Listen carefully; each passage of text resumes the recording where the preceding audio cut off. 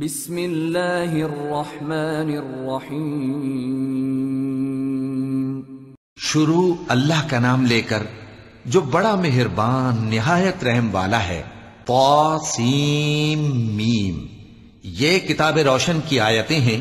اے پیغمبر، ہم تمہیں موسا اور فرعون کے کچھ حالات مومن لوگوں کے سنانے کے لیے صحیح صحیح سناتے ہیں۔ کہ فرعون نے ملک میں سر اٹھا رکھا تھا اور وہاں کے باشندوں کو گروہ گروہ بنا رکھا تھا۔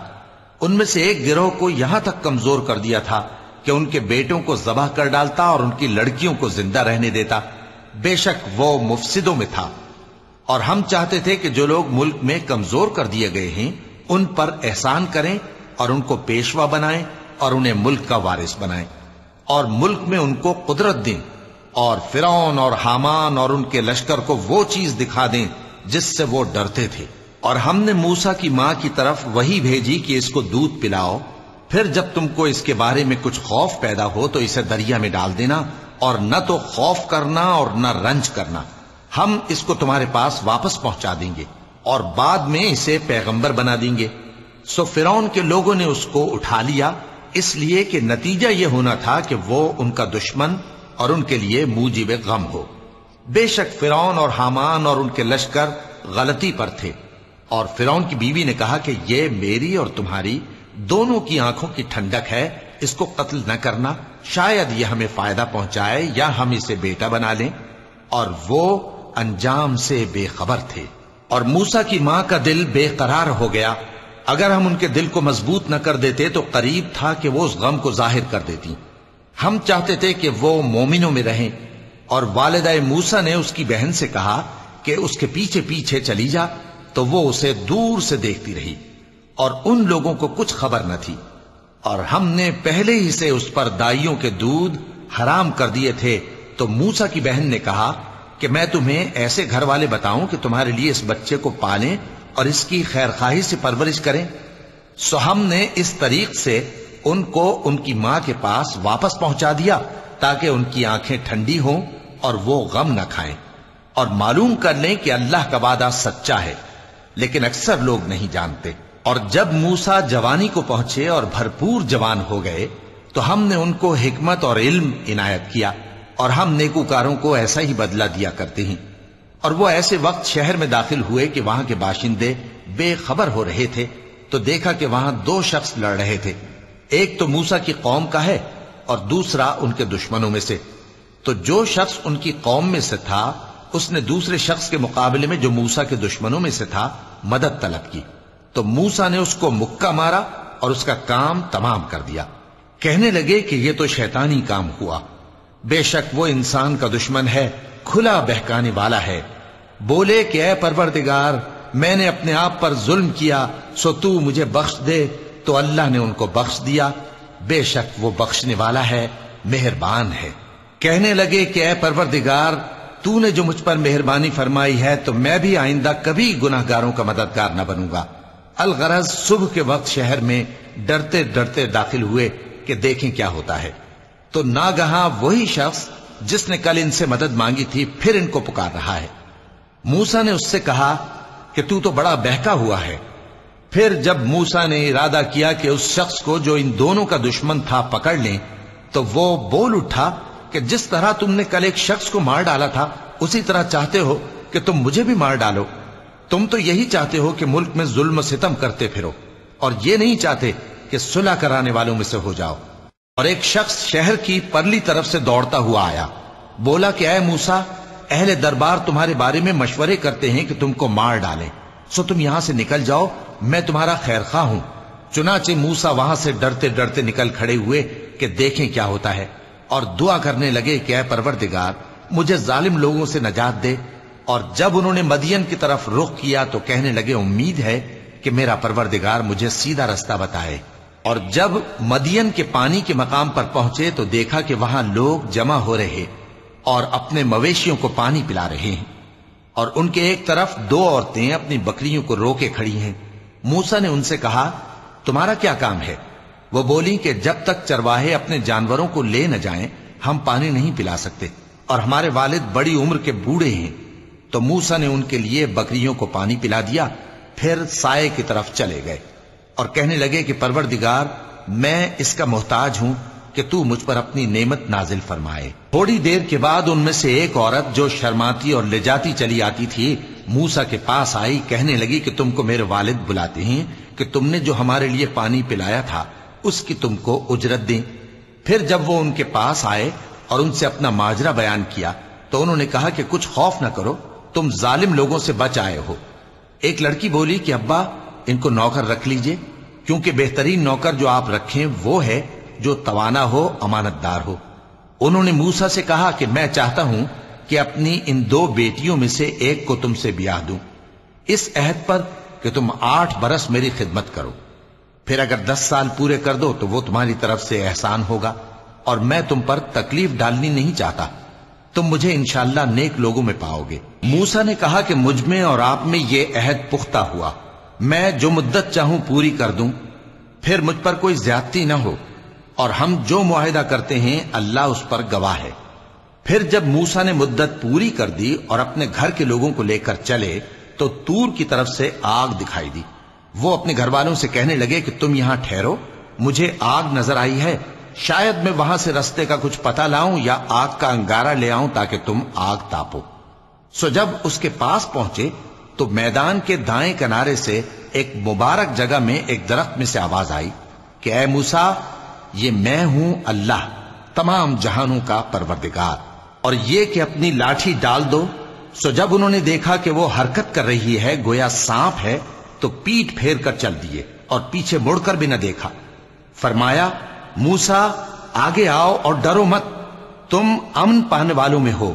اپنا ہاتھ گریبان میں ڈالو تو بغیر کسی عیب کے سفید روشن ہو کر نکل آئے گا اور خوف دور کرنے کی غرض سے اپنے بازو کو اپنی طرف یعنی سینے سے ملا لو۔ یہ دو دلیلیں تمہارے پروردگار کی طرف سے ہیں، فرعون اور اس کے درباریوں کے لیے۔ بے شک وہ نافرمان لوگ ہیں۔ موسا نے کہا، اے پروردگار، ان میں کا ایک شخص میرے ہاتھ سے قتل ہو چکا ہے، سو مجھے خوف ہے کہ وہ مجھ کو مار ڈالیں گے۔ اور ہارون جو میرا بھائی ہے، اس کی زبان مجھ سے زیادہ فسی ہے، تو اس کو میرے ساتھ مددگار بنا کر بھیج کہ میری تصدیق کرے۔ مجھے خوف ہے کہ وہ لوگ میری تکزیب کریں گے۔ فرمایا، ہم تمہارے بھائی کے ذریعے تمہارے بازو کو مضبوط کریں گے اور تم دونوں کو غلبہ دیں گے۔ تو ہماری نشانیوں کے سبب وہ تم تک پہنچ نہ سکیں گے۔ تم دونوں اور جنہوں نے تمہاری پیروی کی، وہی غالب رہیں گے۔ پھر جب موسا ان کے پاس ہماری کھلی نشانیاں لے کر آئے تو وہ کہنے لگے کہ یہ تو جادو ہے جو اس نے بنا کھڑا کیا ہے۔ اور یہ باتیں ہم نے اپنے اگلے باپ دادا میں تو کبھی سنی نہیں۔ اور موسا نے کہا کہ میرا پروردگار اس شخص کو خوب جانتا ہے جو اس کی طرف سے ہدایت لے کر آیا ہے۔ اور جس کے لیے عاقبت کا گھر یعنی بہشت ہے، بے شک ظالم کامیاب نہیں ہوں گے۔ اور فرون نے کہا کہ اے اہل دربار، میں اپنے سوا کسی کو تمہارا خدا نہیں جانتا۔ سو اے حامان، میرے لیے گارے کو آگ لگا کر اینٹیں پکا دو، پھر ایک اونچا محل بنا دو تاکہ میں موسا کے خدا کی طرف چڑھ کر اسے جھانک لوں۔ اور میں تو اسے جھوٹا سمجھتا ہوں۔ اور وہ اور اس کے لشکر ملک میں ناحق مغرور ہو رہے تھے اور خیال کرتے تھے کہ وہ ہماری طرف لوٹ کر نہیں آئیں گے۔ تو ہم نے اسے اور اس کے لشکروں کو پکڑ لیا۔ آخر ہم نے انہیں سمندر میں پھینک دیا۔ سو دیکھ لو کہ ظالموں کا کیسا انجام ہوا۔ اور ہم نے ان کو پیشوا بنایا تھا۔ وہ لوگوں کو دوزخ کی طرف بلاتے تھے اور قیامت کے دن ان کی مدد نہیں کی جائے گی۔ اور اس دنیا میں ہم نے ان کے پیچھے لانت لگا دی۔ اور وہ قیامت کے روز بھی بدحالوں میں ہوں گے۔ اور ہم نے پہلی امتوں کے ہلاک کرنے کے بعد موسا کو کتاب دی، جو لوگوں کے لیے بصیرت اور ہدایت اور رحمت ہے، تاکہ وہ نصیحت حاصل کریں۔ اور جب ہم نے موسا کی طرف حکم بھیجا تھا، تو تم تور کی مغربی جانب نہیں تھے اور نہ اس واقعے کے دیکھنے والوں میں تھے۔ لیکن ہم نے موسا کے بعد کئی امتوں کو پیدا کیا، پھر ان پر ایک لمبی مدت گزر گئی اور نہ تم مدین والوں میں رہنے والے تھے کہ ان کو ہماری آیتیں پڑھ پڑھ کر سناتے تھے۔ اور ہاں ہم ہی تو پیغمبر بھیجنے والے تھے۔ اور نہ تم اس وقت جبکہ ہم نے موسا کو آواز دی تور کے کنارے تھے۔ بلکہ تمہارا بھیجا جانا تمہارے پروردگار کی رحمت ہے، تاکہ تم ان لوگوں کو، جن کے پاس تم سے پہلے کوئی خبردار کرنے والا نہیں آیا، خبردار کرو تاکہ وہ نصیحت حاصل کریں۔ اور اے پیغمبر ہم نے تم کو اس لیے بھیجا ہے کہ ایسا نہ ہو کہ اگر ان امال کے سبب جو ان کے ہاتھ آگے بھیج چکے ہیں ان پر کوئی مصیبت واقع ہو، تو یہ کہنے لگے کہ اے پروردگار، تو نے ہماری طرف کوئی پیغمبر کیوں نہ بھیجا کہ ہم تیری آیتوں کی پیروی کرتے اور ایمان لانے والوں میں ہوتے؟ پھر جب ان کے پاس ہماری طرف سے حق آ پہنچا، تو کہنے لگے کہ جیسی نشانیاں موسا کو ملی تھیں، ویسی اس کو کیوں نہیں ملی؟ کیا جو نشانیاں پہلے موسا کو دی گئی تھی انہوں نے ان سے کفر نہیں کیا۔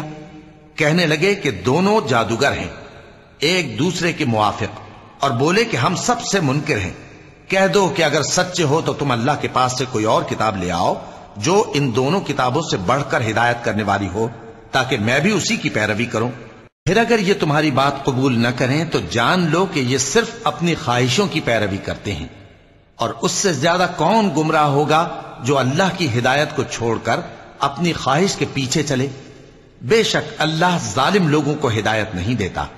اور ہم پے در پے ان لوگوں کے پاس ہدایت کی باتیں بھیجتے رہے ہیں تاکہ نصیحت حاصل کریں۔ جن لوگوں کو ہم نے اس سے پہلے کتاب دی تھی، وہ اس پر ایمان لے آتے ہیں۔ اور جب قرآن ان کو پڑھ کر سنایا جاتا ہے تو کہتے ہیں کہ ہم اس پر ایمان لے آئے۔ بے شک یہ ہمارے پروردگار کی طرف سے برحق ہے اور ہم تو اس سے پہلے کے حکم بردار ہیں۔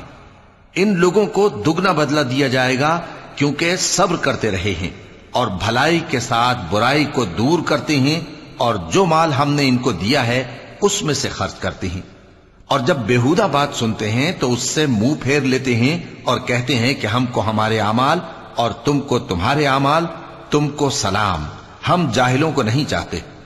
اے نبی، تم جس کو دوست رکھتے ہو، اسے ہدایت نہیں کر سکتے، بلکہ اللہ ہی جس کو چاہتا ہے ہدایت کرتا ہے اور وہ ہدایت پانے والوں کو خوب جانتا ہے اور کہتے ہیں کہ اگر ہم تمہارے ساتھ ہدایت کی پیروی کریں تو اپنے ملک سے اچک لیے جائیں۔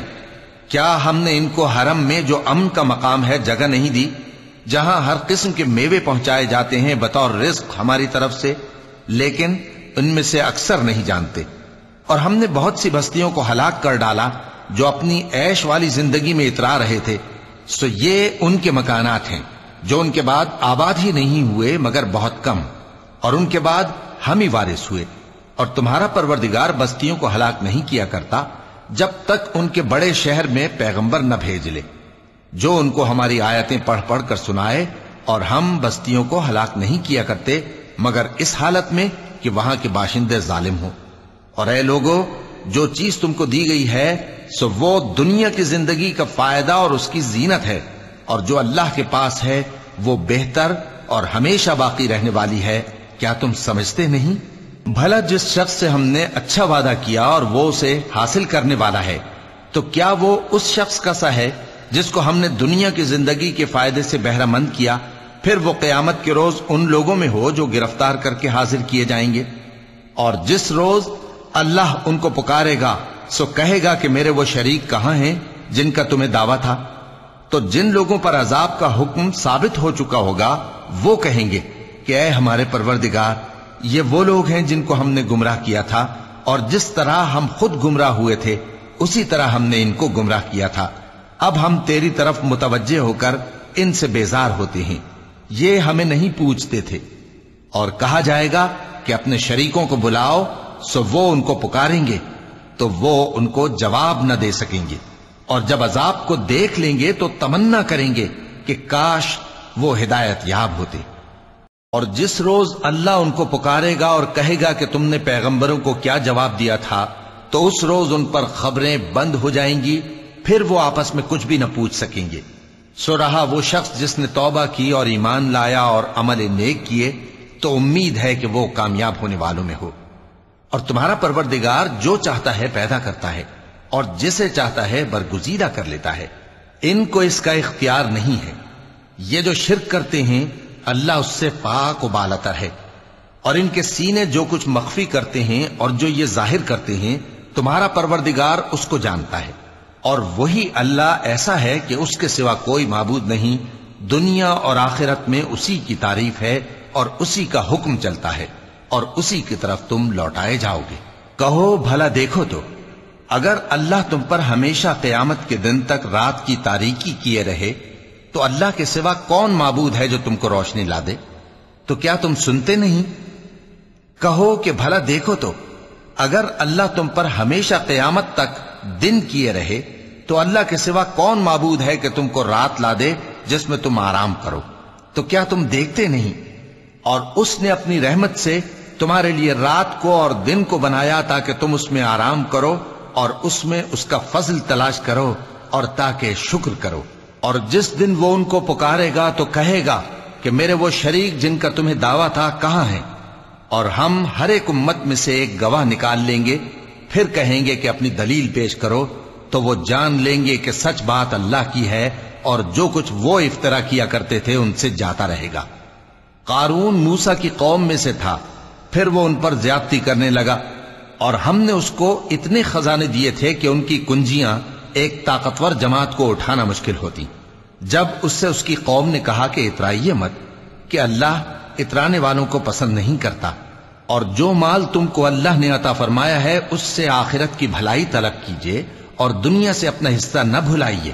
اور جیسی اللہ نے تم سے بھلائی کی ہے، ویسی تم بھی لوگوں سے بھلائی کرو اور ملک میں طالب فساد نہ ہو۔ کیونکہ اللہ فساد کرنے والوں کو دوست نہیں رکھتا۔